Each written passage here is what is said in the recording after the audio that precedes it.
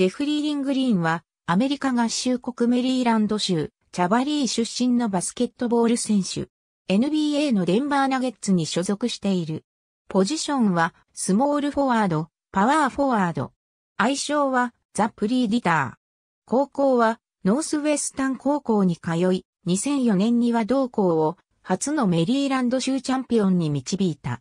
大学は、ジョージタウン大学に進学。不審にあえいだバスケットの名門校を立て直す、働きを見せ、ビッグイーストカンファレンスの新人王に選ばれた。翌シーズンにはチームを NCAA トーナメントスイート16に導き、さらに翌シーズンは同校にとって1985年以来となる NCAA トーナメントフィナール4まで進出したが、準決勝でグレッグ・オデン要するオハイオ州立大学に敗れた。このシーズン終了後、2007年の NBA ドラフトにエントリーした。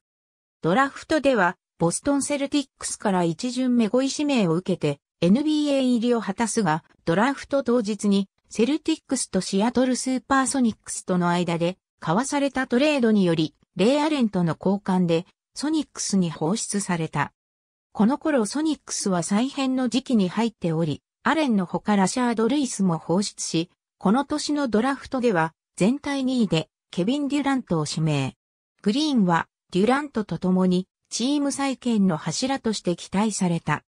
そしてルーキーイヤーの2007から08シーズンは10.5得点4.7リバウンドの成績を残し、新人王を獲得したデュラントと共に、オールルーキーファーストチームに選ばれた。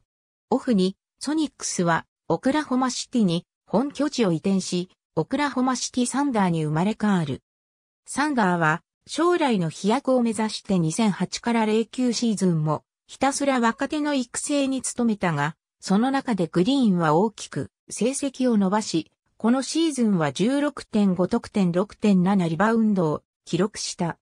2011年2月24日、ネナド・クリスティッチと共に、ネート・ロビンソン、ケンドリック・パーキンスとの交換トレードにより、ボストン・セルティックスへ移籍した。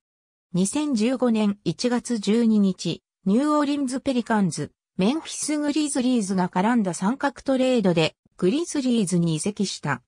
2016年2月18日、ランス・スティーブンソン、将来のドラフト1巡目指名権と交換で、ロサンゼルス・レイカーズにトレードされた。2016年7月1日、オーランド・マジックと契約した。2017年7月7日、クリーブランド・キャバリアーズと契約した。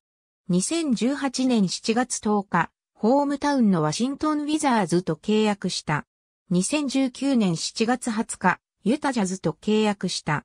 12月24日、ジャズからウェーブされた。2020年2月17日、ヒューストンロケッツとの10日間契約に合意した。2月26日、ロケッツと今季終了までの契約を結んだ。ありがとうございます。